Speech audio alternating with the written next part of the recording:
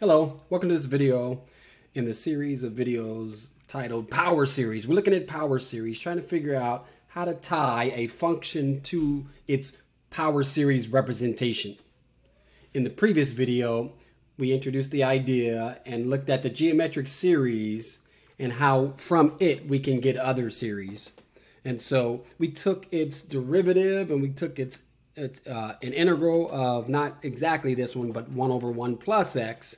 And in this video, what we want to do is build up the derivative of arctan and then integrate it so we can get a power series for arctan.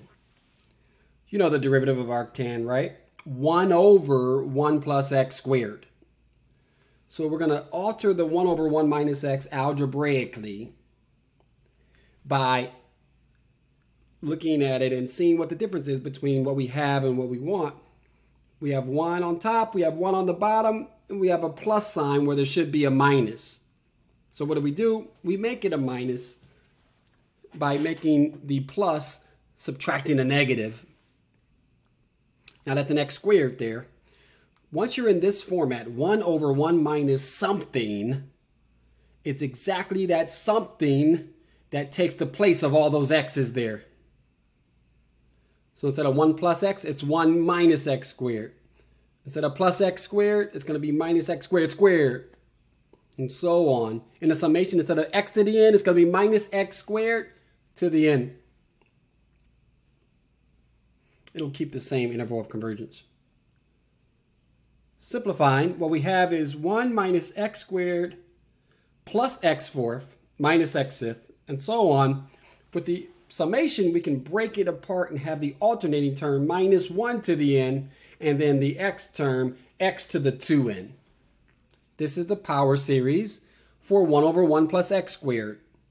Not worthy of getting its own place on the list of library of functions that we know the power series representation of.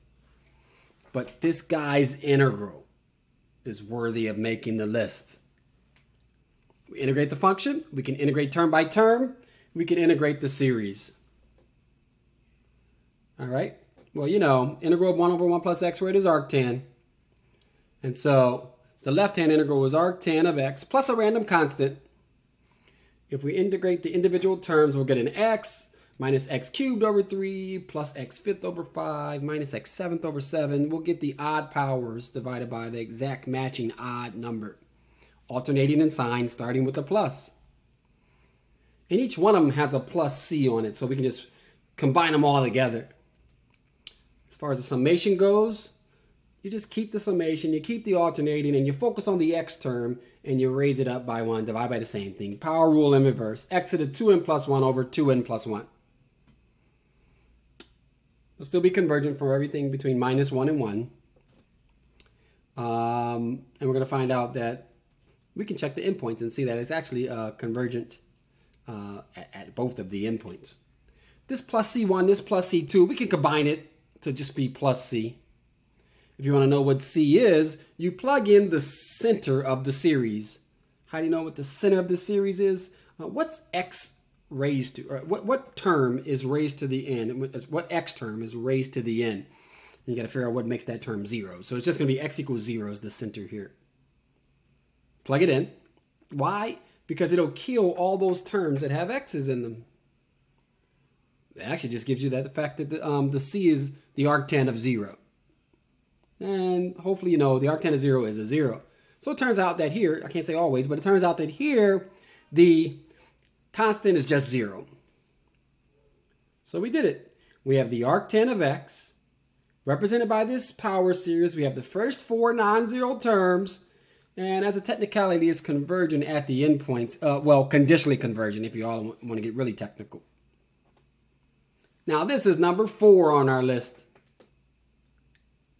Let's go to the list. We start with the geometric series, convergent for any x's between minus 1 and 1. We took its derivative to get 1 over 1 minus x quantity um, squared power series representation. Shares the same interval. Then we altered 1 over 1 minus x by making it 1 over 1 plus x and then integrated it to get the natural log power series. And if you check the endpoints there, you'll get conditional convergence on the endpoints for both of them, just like with the arctan series. This is half of the ones we'll need. We'll get about eight of them. The other four will come from Taylor series. And so it's our job to take these now and use them in applications to build others uh, functions. And so here's just a small example. We'll do a more difficult example in another video. But I want to be able to represent the function as a power series. I'm not quite concerned about the interval of convergence. If the question doesn't say it, don't worry about taking the extra step and going to find it. Um, and so this isn't exactly one of the ones that were on the list, but it has the flavor of one of the ones that was on the list. If you have the quantity squared in the denominator, if you go back to the list, it's got to be the second one. Quantity squared in the denominator. Except for you don't have a 1 in the numerator. You don't have a 1 in the denominator. What you have for your function, x cubed in the numerator, factor it out. 2 in the place of the 1 that's in the denominator, factor it out. Be careful with this guy. You see, the whole quantity is squared. So when you take it out, it's still inside the square. So when it comes all the way out, it actually comes out as a 4. And now we have the exact same format as number 2 on the list. 1 over the quantity of 1 minus something squared our something's not an x, and we have to multiply by x cubed over 4, but that's okay. All we need to do is rip out the x's in number 2 on the list and put in x over 2's. So instead of uh, 1 plus 2x, we'll have 1 plus 2 times x over 2, plus 3 times x over 2 quantity squared, plus 4 times x over 2 quantity cubed, don't forget though, we have to multiply by x cubed over 4. In the summation, we have, um, instead of x to the n minus 1, we have x over 2 to the n minus 1. We just got to simplify this and we're done. Let's distribute in. Uh, go back to the original function, x cubed over 3, uh, x cubed over 2 minus x quantity squared. And let's distribute the x cubed over 4 in. See how those 2's cancel in the second term there? And in the fourth term, we're going to have some cancellation as well. So we end up with the four terms, uh, x cubed over 4, x fourth over 4, 3x fifth over 16, x sixth over 8. And it goes on forever. It's all positive.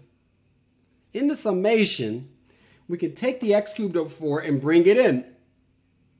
But we can do more than just bring it in we can then incorporate it with the other parts that are already in there. You already have x who's raised to the n minus 1. And you are multiplying it by x to the 3. What do you do with that? You add the exponents, which ends up as x to the n plus 2. Okay, good. And then you can just take off the 2 to the n minus 1, and you have exactly your power series for your function f of x, who is x cubed over the quantity of 2 minus x that is squared. And if we wanted to, we could find the interval of convergence and all that too. All right, so we'll do more of this. This isn't an easy question, okay? But it's about manipulating one of the list, one of the options that are on your list of right now four different functions and their power series representation picking the right one, and manipulating it algebraically. In the next video, we'll manipulate it first with algebra, and then we'll hit it with some calculus. All right, thank you. My name is Nakia Rimmer. I'm here to help you through this, this journey of Calculus 2, amongst other things, and ask me any questions if you like. Uh, comment down below, like and subscribe, and I'll see you in the next video. Thanks for watching.